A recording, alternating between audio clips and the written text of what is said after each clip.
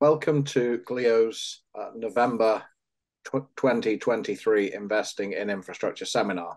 Uh, this is the panel on current themes in infrastructure investing.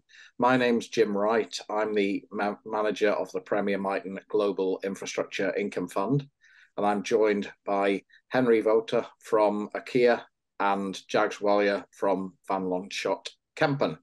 Uh, so, firstly, before we proceed, do you guys just want to very, very briefly introduce yourselves? Uh, Maybe starting with Jags.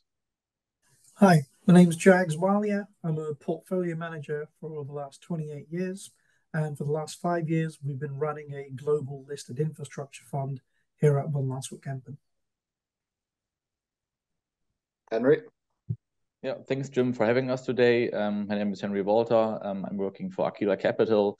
I joined uh, the company in 2019, and before um, before that, I was working in the banking sector, and I'm responsible in Zurich, Switzerland, for my client group, which is banks, independent wealth managers, and foundations. So, the I think the predominant theme in infrastructure investing, both on the direct um, and on the listed infrastructure uh, side, is is the energy transition. And so, um, firstly, Jags, um, starting with you, how are you? Uh, what opportunities are you seeing uh, in that broad space at the moment, and how are you looking at it going into 2024? Okay, cool. Well, it's obviously been, you know, a really tough year for the renewables investments. That's one part of the energy transition. Uh, with the energy transition, which if I just define it very broadly as make everything electric and then make the electricity green. On that second part of make the electricity green, you know, one way of doing that is renewables, another way is coal to gas switching, and we've seen a lot of challenges this year, mainly in terms of renewables not having the power prices that they wanted to see. But, you know, we're seeing early signs of that, at least in the last one month, of that being rectified. So, you know, I think there was an article in the FT about two weeks ago about the UK offshore wind farm auctions. The price will be, you know, increased by 66%. So I think we're kind of coming out of that dark period of this year, back on track for the longer term trend. And at least one of the things that were, you know, a headwind, which was the power prices, is being fixed. And then, you know, there's another macro factor, which was bond yields. As you know, the kind of rates were moving up. That's always been a headwind for the utilities, which are doing a lot of the renewables. That's also starting to reverse from a headwind into a tailwind. So to be honest, feeling quite positive about this time of year going forwards. And, and Henry, um, Aquila is obviously a specialist Uh, in renewables. So, um, what um, what's your perspective on on the current challenges and the current opportunities that that we can see in that in that broader um, energy transition space? Yeah, well, as you as you said, Jim, we see ourselves as a decent investor in renewable energy infrastructure. We do this since 2001, since the company was founded by two gentlemen who were still running the business. And the main idea of Aquila was, and still is, um, yeah, to contribute with the energy transition, decarbonization, and to offer also clients um, the opportunity to invest through us into renewable energy. So around 75% of the world's carbon emissions come from the energy sector. Um, so this is maybe one of the biggest puzzle pieces, so to say. And yeah, we see a lot of opportunities still Uh, in the sector, even if this year was a challenging one. But uh, infrastructure is still um, a very important asset class, and of course, the energy transition is one of the main um, issues, which is very important for humankind. So, I have a good feeling that we can still make it. And can I just add on to what Henry said? In terms of those puzzle pieces, I know, you know, we've been discussing this earlier, but, you know, between the kind of the renewables and making everything green and making everything electric, there's always that other missing part of, you know, not forgetting to connect the two. So that'll be, you know, the grid infrastructure that, you know, is also a massive opportunity. Do um, do you think that the EU uh, repower initiative does that does that really make a difference going forward in terms of smoothing the planning process, you know accelerating the time from from plan to actual execution to commission. Is is is this going to really make a difference to you know to something which has has been a challenge to um, to renewable developers and operators uh, who do you want to go first on that one James? well I'd, I'd love both of your views. Um jags why don't you go first on this one? Okay i'm gonna say i really like obviously you know what the eu is doing and upping the ambition with this repower eu fit for 55 we need that but sometimes you get this kind of overlap of you know politics and economics which kind of you know sometimes aligns sometimes it doesn't.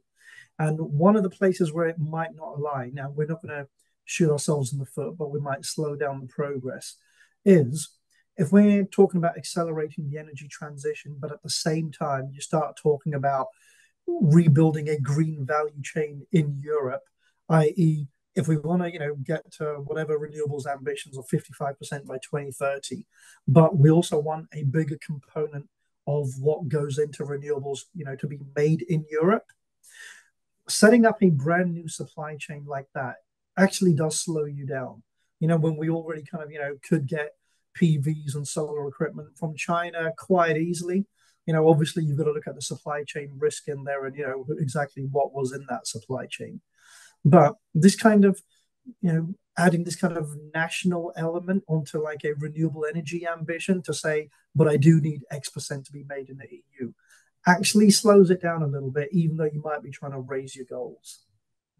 Henry, I'll let you add to that. Yeah, yeah, thank you very much, um, Jack. So um, maybe to talk about um, some some numbers, we just commissioned recently a meta study um, as Aquila, which was realized by the Potsdam Institute of Climate Impact Research, and um, the main outcome was that we as you see we as Europe, um, so to say, still have a lot of cash reserves to um, to match our own set goals, right? So to bring some some numbers in, um, it's surprisingly cheap. Um, we only had to invest 150 billion every year until 2030 and 100 billion every year until 2040 to achieve um, yeah electricity independent uh, uh, in in Europe. So and to put this into context, um, we spent about 792 billion um, from the Ukraine crisis in 2022 to protect um, us as consumer from from these effects. So um, I think this shows that we have to turn words and commitments um, just into action. Otherwise, it's getting real, real tight for us to achieve these goals. And, it, and as we see, it's surprisingly cheap, and um, therefore, I, I, think there's no other way. Yeah, and, Henry, and that's a great um, you... point. Oh, I'm just going to say, on there's an overlap, you know, between energy transition and energy security, and I think absolutely, you know, yeah, and you know how we've seen sometimes, you know, at least over the last decade, the, a government's commitment towards energy transition can fade depending on, you know, who comes in and who comes out, you know, of power. Like, you know, we might see that in the White House again, you know, in a year from now. But it seems to be that the, you know, a government's commitment to energy security seems a lot more, you know, pardon the pun, bulletproof, as in that really doesn't kind of go with one, you know, left or right kind of leaning government. But really, if it's an investment in renewables or in, you know, switching coal for gas because it's for energy security, that commitment is a lot more solid, you know, than kind of the, the wavering that we see on the energy transition side. Oh, look, that's exactly right. And we, we talk about the trilemma, don't we? You know, the security of supply, um, uh, cost and then decarbonisation. These are the three sort of moving parts in an energy system, and and at any one time, the politicians, the um, the, the, the regulators are looking probably at one more than the other two, and I think mm-hmm. that's exactly right. But but Henry, I wonder, you know, there's been some challenges to the you know, it, it looked, you know, maybe if we go back two, three years, it looked like renewables were on an upward trajectory, you know, without any encumbrances. Um, what we've seen with supply chain issues, planning issues, and and then um, you know, particularly in offshore wind, both in uh, in the North Sea and you know in the northeast US, the eastern seaboard of the US. You know, we're we're seeing challenges now, or we're maybe seeing that battle for the hearts and minds, which you know look to be pretty easy, becoming you know somewhat challenged. So, is this something that you know you've you a, a, question you get from your clients is this something you you maybe think you you need to kind of educate them on more um, or is it you know is is there still do you think an underlying broad consensus that we this is the direction of travel we need to go in? Um, well first of all i have to say that we are um, regarding wind we are until now still investing in onshore wind um, solar pv and hydropower and additionally um, battery storage energy efficiency to wind data centers. But of course um, we saw some some challenges like i think this is also the topic with with with Jags you mentioned um, the grid. You know, we have to connect this. We cannot only build some wind turbines. We only uh, we also have to take care of the grid and um, and the interconnectors. So, but in the last years, we also saw some challenges regarding rising interest rates and, uh, of course, some insecurity. And but but I still see the asset class clean energy infrastructure, renewable energy as a really, really long-term um, asset class and reinvest in the whole life cycle. So the only thing I can tell my investors is um, that um, we have that we still very very stable asset class, um, yeah, which is very long term. So which is a good idea um, to invest not only because of returns, also because of um, yeah the contribution to um, energy security and energy transition. Jags, if we if we pivot to that point about the the grid investment, mm-hmm. because obviously, you know, we're going to have, and and, and this is true in in the UK, in in in Europe, in the US, in Canada, China, anywhere we're going to have this sort of large scale electrification requires huge grid investments. Now, do you think do you think the politicians and the regulators understand the extent to which this grid investment needs to come, and also the extent to which, you know, if if we as infrastructure investors are going to invest in the companies that own the grid, we need to mm-hmm. get an adequate return. Yep, exactly. So, uh, very short answer to that question, I don't think the politicians, if they get it from their actions, you're not seeing enough on the action side. So maybe they get it and they're just slow in moving to address this problem. But there was a great report from the IEA, I think it was about a month or two ago, and it was beautiful. It was on the grid.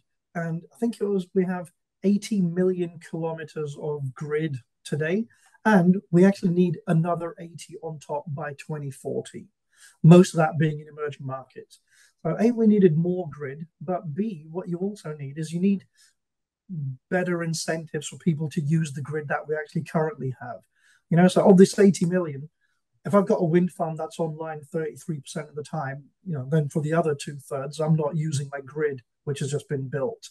So, you know, we really need actually better capacity payments for the grid to say the more you use it, the better incentivized, you know, you'll be to use it. And secondly, just incentives to actually get more grid built out. But, you know, the other problem is when you're building out grid, you really are, you know, you have right of way issues. It's going to be, you know, long distances you're traveling. So to get all those approvals just takes time. And I think I read in the IEA report, like your average grid is going to be 10 to 15 years to get built, whereas your renewable project might be five years. And, you know, I think even at the moment, we have more renewables actually built than we have grid capacity.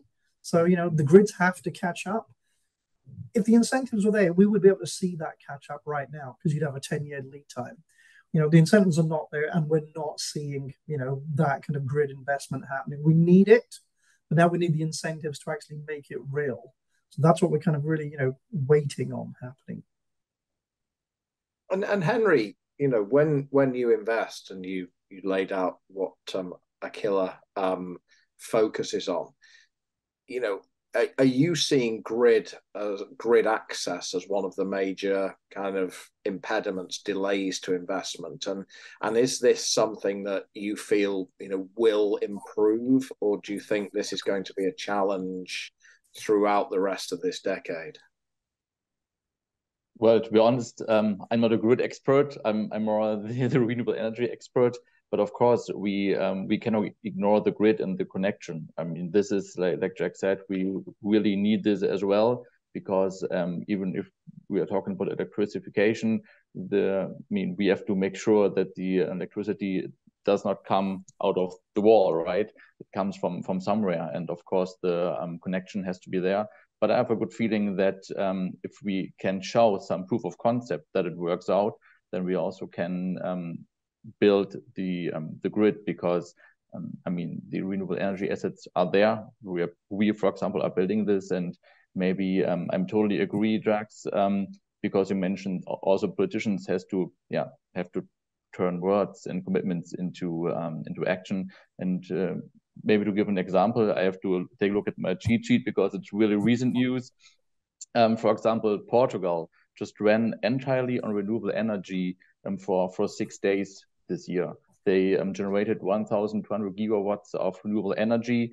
Um, it was between end of October, beginning of November, and um, it was a new record. The last time it was um, in 2019. So we still see improvement. And um, now they're among the 20 best prepared um, nations regarding the energy transition. And if we see such yeah proof of concepts, so to say, yeah, it makes me believe that also politicians see that and also believe in that and therefore take more into action. I think we, we need examples that this works out. And if you can show this like Portugal does, then um, yeah, I have of, I am of good hope, so to say. Yeah, and Jim, you said you know whether the grid was an impediment. I think it's probably more of a consideration. You know that you need to know when I have this opportunity to invest in renewables. The last thing people want to see on the renewable side is a stranded asset. Like we always assume stranded assets, that's for fossil fuels for later, you know, or sooner. But you don't want to see stranded assets on the renewable side. So the grid question is a consideration more than an you know um, impediment i would say okay now i have to ask so if we if we're thinking about energy transition and, and obviously theoretically i think we'd all like hundred percent zero carbon renewable um, uh, energy system but um, to what extent do you do you guys think that's realistic? To what extent does storage evolve to achieve that goal? And and obviously, you know, I think we're probably all investors in storage, but um, it feels like at the moment short term energy storage is is very doable, but longer term, you know, over two three days when there's the, the wind isn't blowing. It's very very cold in the European mm-hmm. and the sun isn't uh, the the sun isn't shining. You know, is is there still a place for gas in the energy mix going forward, or or do you feel that that you know investing in in in gas as a fuel in gas fired you know power stations is is probably you know only well risks stranded assets in in Jag's words. So so Henry, what's your what's your sense of that? Mm, yeah, maybe I could put uh, the example Portugal in place again. They were shut down um, the last um, gas power plants in down in 2021, which is nine years ahead of their own set goals. So, so I think um, it's still doable. And uh, I think 68% of the generated electricity um, this year came from renewable energy. So of course, this is it's not doable from one day to, to another. But I think in the long term, we should try to to achieve um, yeah the generation of electricity from nearly only renewable energy. So battery storage, as you said, Jim, is, is a very very important topic. I can cannot I cannot give you uh, a number, um, but what I can tell from our side is that we are at the moment checking every renewable asset um, regarding reprioritization with a with a um, storage asset as well. So I think uh, battery storage is one of the yeah biggest topics we have to um, focus on. And are, and are you encouraged by the cost curve in terms of battery storage? Is it is is that storage coming the, the price of that storage coming down meaningfully, or do you think um, we're not quite there yet? Mm. Please, Jags, go ahead. Yeah, uh, I was gonna say, oh yeah, on the battery side, we've seen battery storage costing you know collapse, like by about 50% in the last two years.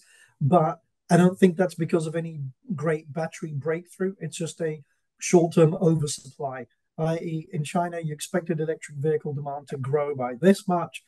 It's been growing less than that as you remove subsidies. So we've just got a short-term oversupply of batteries that's caused, you know, this kind of cyclical price drop. I don't think at the moment we're seeing a breakthrough enough that it's going to you know, justify the halving.